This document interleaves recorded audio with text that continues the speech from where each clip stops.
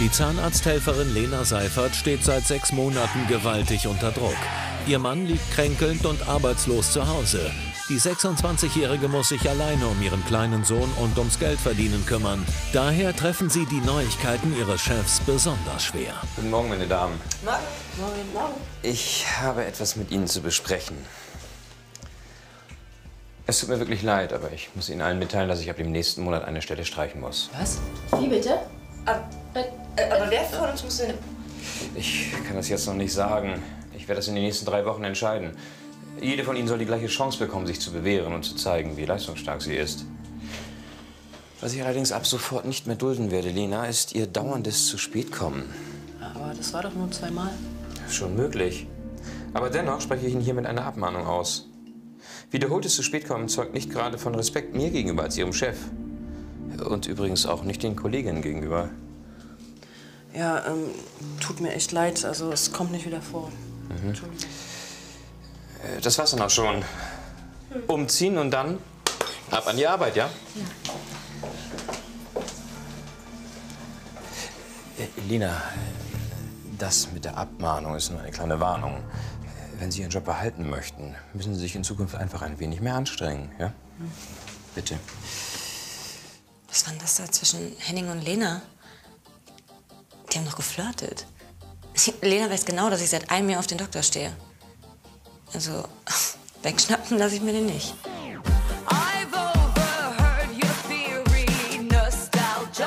Die Schreckensnachricht des Doktors erwischt die drei befreundeten Frauen eiskalt. Jede hat ihre eigenen guten Gründe, weshalb sie den Job braucht. Und nun müssen Lena, ihre Freundin Sarah und Gabi Paulsen auch noch gegeneinander arbeiten. So eine Nachricht am frühen Morgen. Das laut sein. Ich brauche den Job. Ich, ich habe mir gerade einen Jahreswagen geholt. So habe ich eh schon Schulden. Anna, ey, meinst du, mir geht's besser? Ich habe zwei Kinder, ja, ich bin alleinerziehend. Ich, ich muss meine Kinder ganz alleine ernähren. Ihr seid witzig. Benno hat seit einem halben Jahr einen Burnout und ich bin Alleinverdiener. Und ja, ich bin auf den Job angewiesen, weil ansonsten müssen wir zum Amt und das geht nicht. Mann, aber es ist doch, ist doch alles gar nicht so schlimm für euch. Guck mal, du hast, du hast überhaupt gar keine Kinder, die du ernähren musst, ja? Und du hast einen Mann zu Hause zu sitzen. Aber bei mir ist das richtig existenziell. Zwei Kinder, sage ich da nur. Ja, ist ja schön, dass du der Meinung bist, dass es dich am allerschlimmsten treffen würde. Aber ich muss mir dann auch wieder einen neuen Job besorgen. Die fallen ja nicht vom Himmel. Ihr seid mal fertig. Also ich finde das alles total schrecklich. Ist er, wenn Benno erfährt, dass ich eventuell meinen Job verliere, ja, dann kriegt er gleich den nächsten Anfall. Und ich brauche den Job deswegen. Also ich werde um den Job kämpfen, ne? Nur damit das wisst, ist auch nicht gegen euch.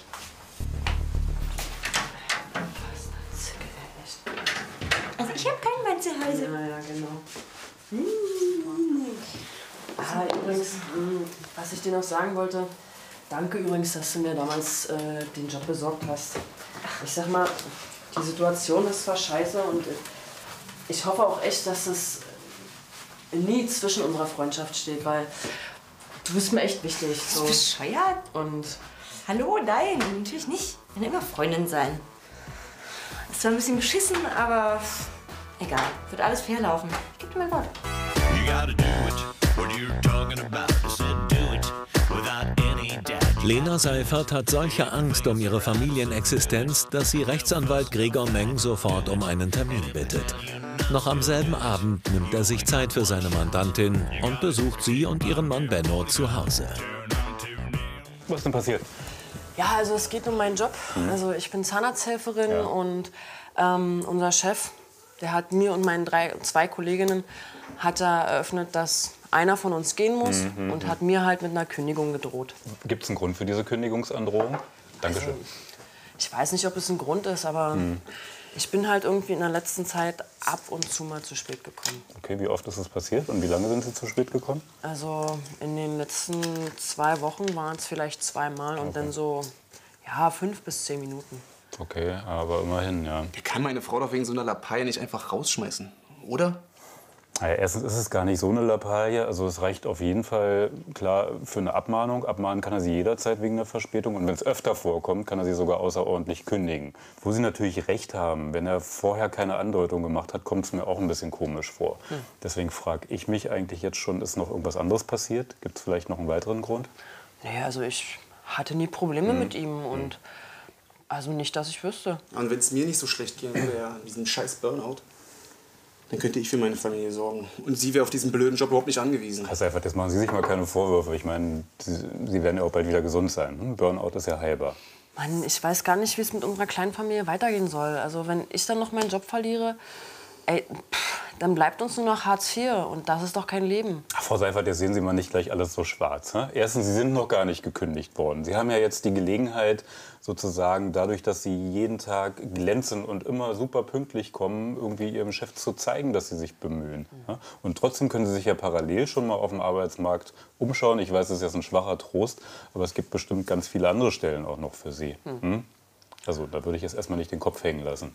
Okay. Ja? Gut. Ich hatte gedacht, der Anwalt könnte mehr für uns tun. Aber wie es aussieht, bin ich gegen die drohende Kündigung machtlos. Ich weiß gar nicht, was ich machen soll, wenn ich meinen Job verliere. Well, I know a man with nothing in his hands. Angestrengt achtet Lena nun darauf, dass ihr nicht der kleinste Fehler bei der Arbeit und im Umgang mit dem Arzt unterläuft. Drei Tage später hat Dr. Landmann plötzlich einen Betriebsausflug anberaumt, bei dem er angeblich die Sozialkompetenz seiner Mitarbeiterinnen testen will. Sandra, übertreibst du nicht so ein bisschen? Ist ja widerlich, wie du dich an den Chef hier ranschmeißt. Das musst du gerade sagen. den Job, oder? Du hast doch noch getönt, du kämpfst um deinen Job und so richtig dezent siehst du heute auch nicht aus. Ey, ich weiß nicht, was du meinst, ja? Nicht, nicht streiten. Wir sind hier äh, alle in demselben Boot, ne? Und wir müssen zusammenhalten. Ja? Lass uns ein bisschen genau. Spaß haben. So, Das wäre ja super. bin Zwei soweit. Dankeschön. So, Lena, Sie sind dran. Ja, danke. Bin ich ja mal gespannt. Darf ich Ja, einmal? ich auch. So. Können Sie einmal kurz? Dankeschön. Ach, Lena, äh, so hält man den Schläger nicht. Versuchen Sie es mal so. Schauen Sie mal. Argwöhnisch und beinahe feindselig beobachten Lenas Kolleginnen Gabi und Sandra den vermeintlichen Flirt mit dem Doktor. Dass Lena jetzt echt so eine Unschuldsnummer abzieht. Als ob die nicht weiß, wie man so einen scheiß Schläger hält. Aber Männer fallen ja auf sowas immer drauf rein. Ey, das ist echt nix heilig, um ihren Job zu retten, ne? Ich würde mal sagen, das war's dann für heute, oder? Wir sind durch. Ich finde, das hat richtig Spaß gemacht. Finden Sie nicht? Auf jeden Fall. Ja. War super lustig. Auf diese Art lernen wir uns auch mal auf einer anderen Ebene kennen, ja? Nicht nur in der Praxis. Und ich konnte gleich mal schauen, wie es um Ihre Sozialkompetenz bestellt Also ich ist. wunderschön, das sollten wir viel öfter machen. Ja, schauen wir mal, nicht?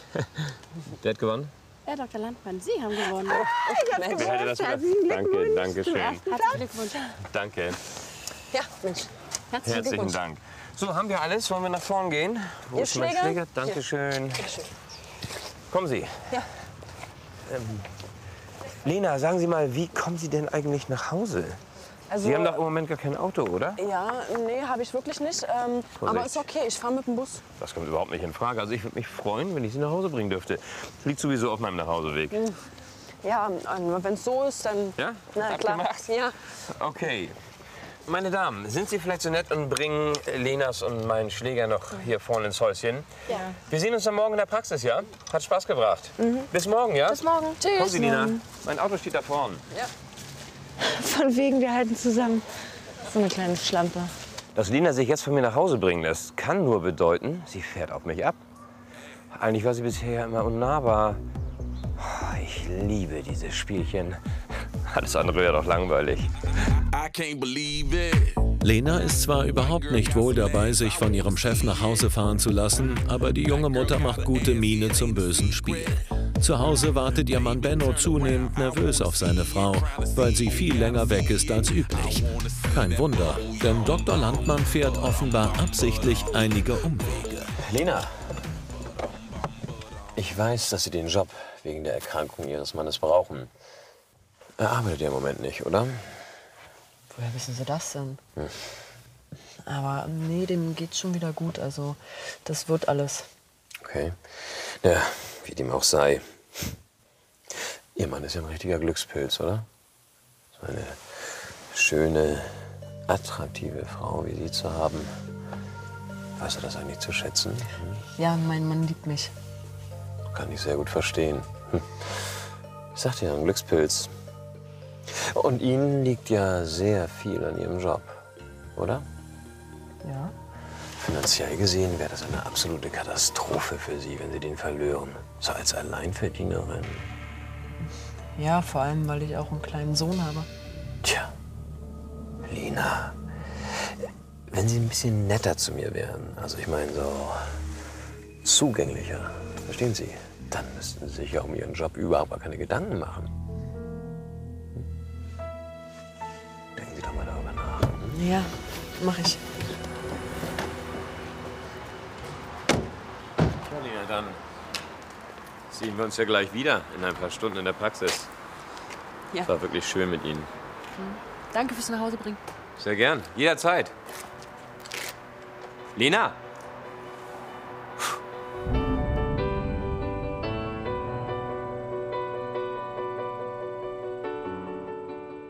Ist ein widerlicher Typ?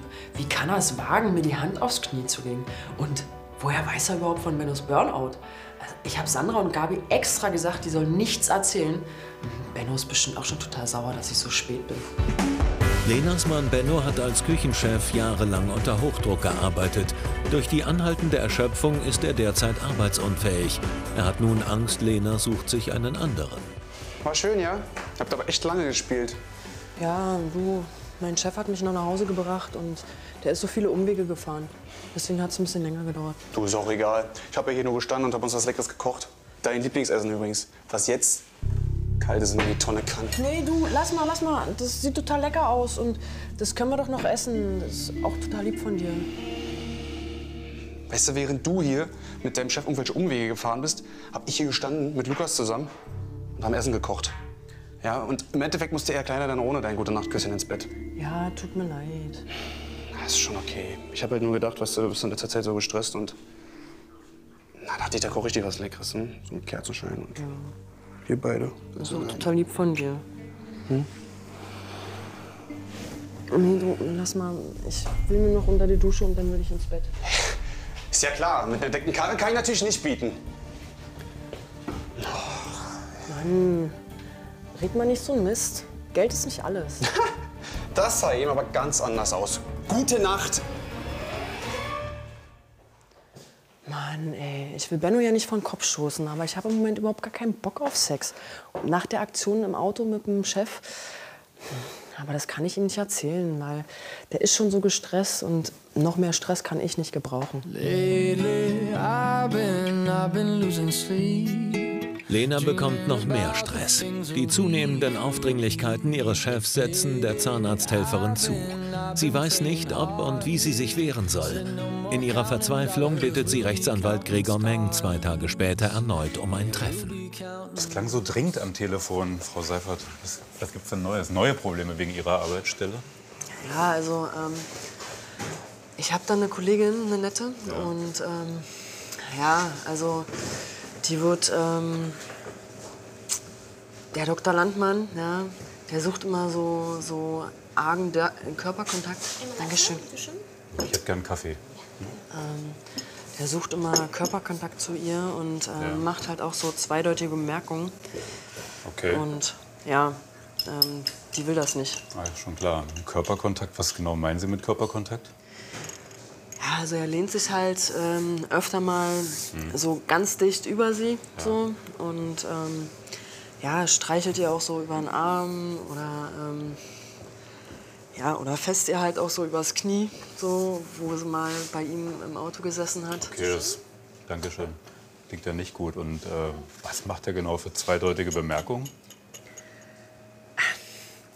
So hundertprozentig weiß ich das auch nicht. Also, ja, ich weiß nur, dass es ihr total unangenehm ist und sie das total abartig findet. Okay, Frau Seifert, und Sie sind sich ganz sicher, wir reden hier nicht über Ihre eigene Situation? Nee, niemals. Okay. So, gar nicht. Na gut. Also dann sagen Sie Ihrer Kollegin mal von mir, dass sie natürlich Ihren Chef anzeigen kann wegen Nötigung am Arbeitsplatz. Und außerdem sagen Sie ihr bitte, dass sie Ihren Chef auffordern soll, dass er sein Verhalten unterlässt. Und wenn nicht, können wir das sogar für Sie auch gerichtlich einklagen, dass er sein Verhalten unterlassen muss. Und dann würde ich Sie bitten, dass Sie, dass sie mich mal persönlich kontaktiert und mir genauere Details erklärt. Sonst kann ich ihr eigentlich gar keine Handlung empfehlen. Ah, Ja. okay, aber eine Anzeige, das geht nicht. Also, ähm, da verliert sie ja dann ihren Job, wenn der das mitkriegt. Ja. Und ähm, ja, das kann sie sich nicht leisten, so, ne? Okay, klar. Aber Frau Seifert, noch ein Rat für Ihre Kollegin bitte, ja?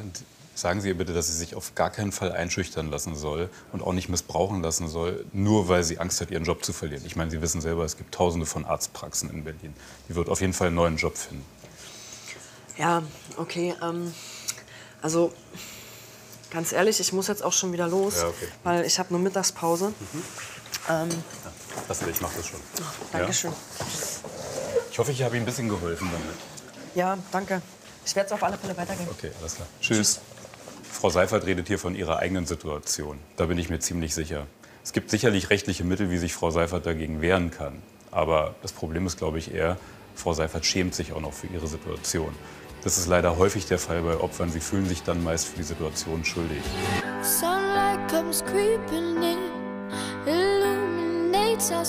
Aus nackter Angst hat Lena Dr. Landmann nicht angezeigt. Sie spielt sein perfides Spiel mit und macht brav Überstunden. Während Kollegin Gabi sich nicht mehr besonders um den Job bemüht, wundert sich Sandra Fischer über Lenas Arbeitseifer. Was machst du denn noch hier? Schon mal auf die Uhr geguckt? Ja, ich mache das noch fertig und dann bin ich weg. Ja, aber muss es heute sein? Kannst du es nicht morgen machen? Ja, du weißt doch, seit die Situation mit unserem Job ist, da darf ich mir halt einfach keine Patzer mehr erlauben. Also ich, ich muss das noch fertig machen, weil, weißt du, sonst hat Gabi auch immer noch geholfen, aber macht's ja irgendwie auch nicht mehr, seit sie ihre Alleingänge startet. Weißt du was? Ich helfe dir. Dann sind wir schneller fertig und beide Feierabend. Hm? Du, lass mal, brauchst gar nicht. Also geh du mal in deinen wohlverdienten Feierabend, ich mach das und dann passt schon. Bist du sicher? Ja, ja. Ja? kommen Sie doch bitte noch mal zu mir in den Behandlungsraum. Ich brauche da mal Ihre Hilfe. Alles klar. Okay.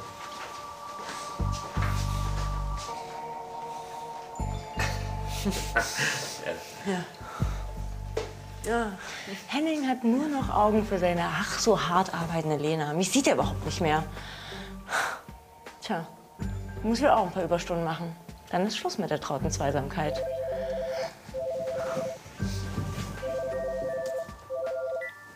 Praxis Dr. Landmann, Sandra Fischer am Apparat.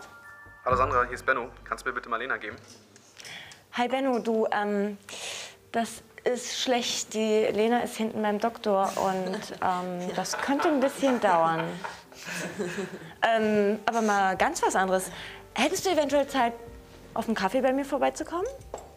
Ähm, ich muss dir was ganz Dringendes erzählen. Aha, was denn? Du, das ist echt schlecht am Telefon. Das, das sollten wir wirklich unter vier Augen besprechen.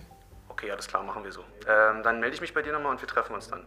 Sagst du bitte Lena, dass ich angerufen habe und sie soll mich bitte zurückrufen? Ja, ist klar. Ich sag Lena Bescheid, dass du angerufen hast. Okay? Mach's gut, ciao. Ciao.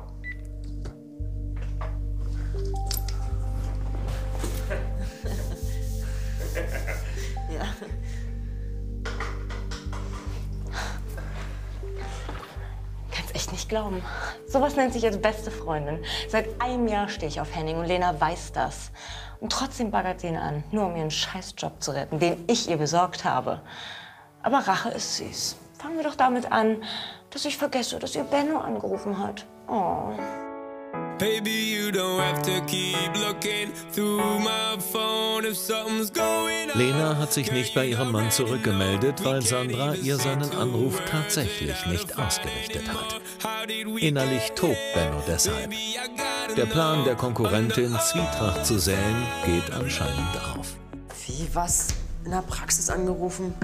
Sandra hat mir gar nichts gesagt. Das ist normal gar nicht ihre Art. Komisch. Lena, ich muss jetzt ganz klar wissen, läuft da was zwischen dir und dem Landmann? Aber geht's dir gut oder was? Er läuft nichts. Warum lässt du dich dann von diesen Spiellappen nach Hause fahren? Weißt du, du erzählst mir was von Überstunden. Bei uns zu Hause läuft im Bett überhaupt nichts mehr. Du schaffst es nicht mal, mich zurückzurufen. Stell dir mal vor, es wäre was mit unserem Kleinen gewesen. Ey, ich bin so lange auf Arbeit, weil ich die Arbeit für zwei machen muss. Gabi hilft nämlich nicht mehr. Deswegen bin ich immer so lange weg. Lena, meinst du, ich weiß nicht, dass du dir ein anderes Leben vorgestellt hast? Ich kann dir doch gar nichts bieten. Seit ich meinen Burnout habe, ja, kann ich nicht mehr für euch sorgen. Da wundert es mich nicht, dass du dich nach anderen Kerlen umsiehst. Und da kommt dieser Landmann, ja, dieser Schmierlappen, gerade richtig. Mit seinem dicken Auto und der ganzen Kohle. Da kann ich natürlich nicht mithalten. Willst du mich verarschen? Warum sollte ich mir einen anderen suchen, weil du krank bist? Weißt du, ich habe das im Gefühl. Du entfernst dich immer weiter von mir. Und das tut weh. Sag mal, was meinst du eigentlich, wofür ich das alles mache? Das mache ich mir für unsere kleine Familie. Du unterstellst mir, dass ich fremd gehe? Mal hackt's oder was? Wer war das? Dein Freund? Warum gehst du denn nicht ran? Nee, das war der Anwalt. Na klar, der Glaubst du Anwalt. Nicht, oder was? Nein, ich glaube dir nicht. Nee, guck mal selber. Sorry, Lena, es tut mir leid. Deine Entschuldigung kannst du in die Haare schmieren. Nacht. Lena, Bennos Eifersucht macht mich total wahnsinnig. Ich habe keine Kraft dafür, sonst breche ich auch noch zusammen. Und dieses Katz-und-Maus-Spiel mit meinem Chef macht mich total fertig.